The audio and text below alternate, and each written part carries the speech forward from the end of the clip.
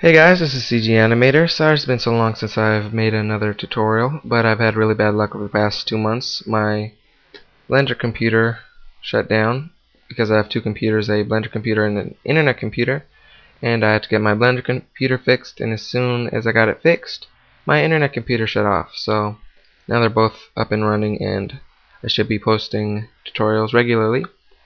And uh, last time I made tutorial. I said I was, that the next one was going to be about head modeling but uh, I want to give you guys a couple small individual ones before I start a big series like that because I've been gone for so long.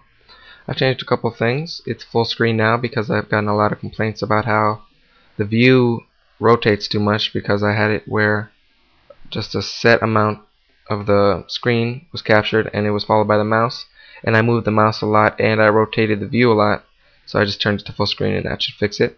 And I put a red marker around the mouse so you can see where that is better. And um, since it's around the holiday season, I decided to make a couple of Christmas tree, well, Christmas themed tutorials. And this one's going to be about making a Christmas tree in the game engine. So let's just go ahead and jump right into that. Let's go ahead and delete this cube. Press X to delete. Press space. Add mesh plane. Add a plane. Press RX90 to rotate the plane. Go into front view, scale it up, hold control to snap it to the grid, and then scale it up on the z-axis a little bit. Okay, bring it up on the z-axis by pressing G, and bring it up to right about there.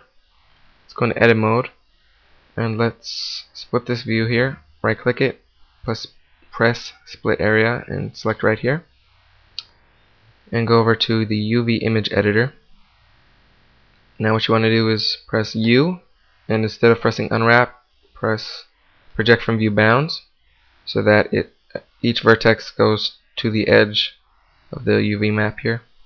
So let's go ahead and load an image. You want a PNG image because PNG images can hold alpha maps and things like that. I'll show what I mean in a minute. I put in christmastree.png in photo, uh, Google Images and I got this so you should be able to get the same. I would give you the link but I have to go back and forth and I wasn't able to get the the link sorry. But um here it is and you can see it's all black in the background and that's what the alpha map is. I'll just show you means that the alpha level is zero in those. Just select this thing here and it should show you the alpha. So now if we go into textured view it's still black. There's no alpha yet. So let's just go ahead and fix a couple things. Go to texture face here. And if you look behind it it's invisible back here. So select two side here so that the texture is two-sided. And you want to select alpha. And now it's see-through. We have a nice low resolution texture here which is pretty good for games because you're making a game on a computer. You need pretty low resolution pictures. So now Let's go ahead and fix a few material settings. Go over here to materials, select add new.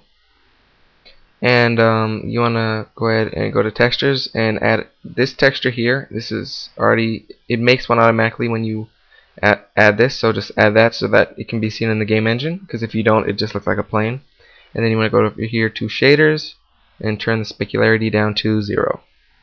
So now that we have this, we have a pretty nice texture here. Let's go ahead and see it in the game engine. Press P to play. And it's pretty nice, but it's very flat. So let's go ahead and give it a kind of a three-dimensional look. It's cheating it. Go ahead and press Shift D and right click to cancel out the movement. Press RZ90 and then we have this kind of cheap looking effect but gets the job done. A lot of games used to use this. So just select both of those and hit Control J to join them. Okay, so now that we have this, go over here to the logic tab here and add a sensor, controller, and an actuator and just click on one button and drag it to the other to connect them. And you want to go over here, you want to leave alpha, I mean always and and the same. You want to go over here to the actuator and you want want to give the rotation on the y-axis 0.02 movement and that means it always moves on the y-axis 0.02 degrees so now let's go ahead and make this big on the front view scale out a little bit. Oh yeah, one more thing. If I would press P right now, it would be gray in the background, and that's because my world settings in the background is gray. So just go over here to Materials, go to the world setting here, and just turn that white. And that's how you change the background effects here. So let's just make this full screen and press P. And we have a cheap little effect, but it's fun to give you guys this because I haven't made a tutorial in so long.